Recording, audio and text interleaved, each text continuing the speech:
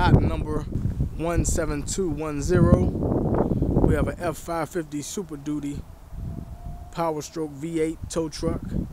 The vehicle is non-running. We have uh, one jump box on the vehicle at this time.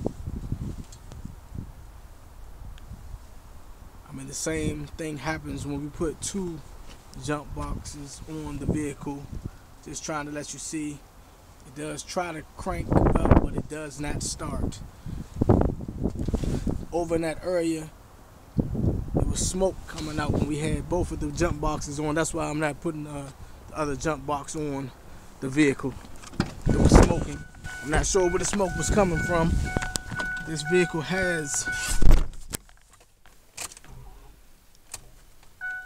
76,216 miles. See the mileage.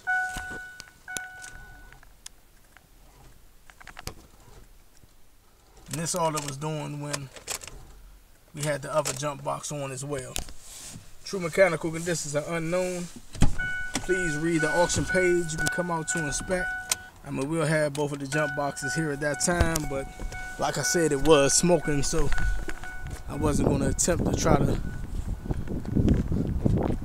start the vehicle again with two jump boxes on it. Didn't want to cause a fire. True mechanical conditions are unknown. Please come out to inspect.